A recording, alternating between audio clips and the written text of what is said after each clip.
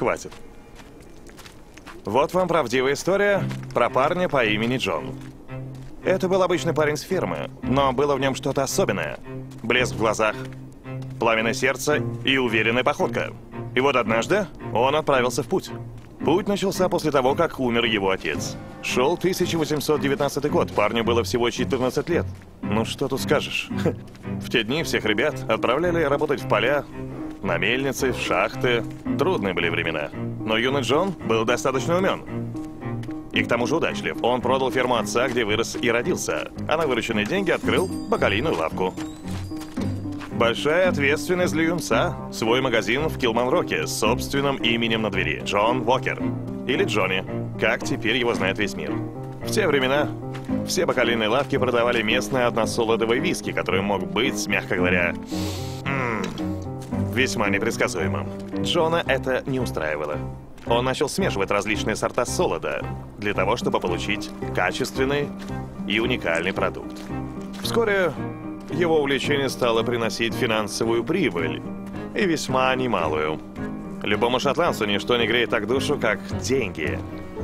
Поэтому создание виски быстро превратилось в целое производство с амбициозными предпринимателями во главе. Сыновья Джона пошли по пути отца и также преуспели. Их звали Роберт и Александр.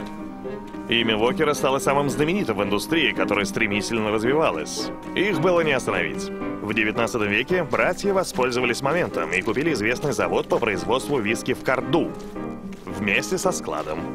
Так они обеспечили стабильный объем производства мягкого односолодового виски, что еще важнее гарантию того, что никто из конкурентов не заполучит это предприятие.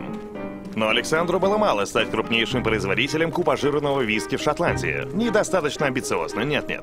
Он убедил капитанов кораблей в Глазго выступить в роли его агентов и развозить виски по всему миру, прославляя имя отца. А еще в 1860 году он придумал квадратную бутылку с этикеткой, наклеенной под углом ровно 24 градуса. Вам кажется ничего особенного? Ошибаетесь. Квадратные бутылки бьются реже, и в трюме их помещается больше. На такой этикетке текст можно написать крупнее. А все вместе — это отличный способ выгодно выделиться на любой витрине мира. Бутылка стала культовой, а насыщенный вкус этого напитка — популярным во всем мире. Интересный человек этот Александр Уокер мастер купажа. Амбициозный и бескомпромиссный. Мистер Уокер. Правнуки Джона, Джордж и Александр II продолжили его путь. Они помогли бренду успешно шагнуть в 20 век.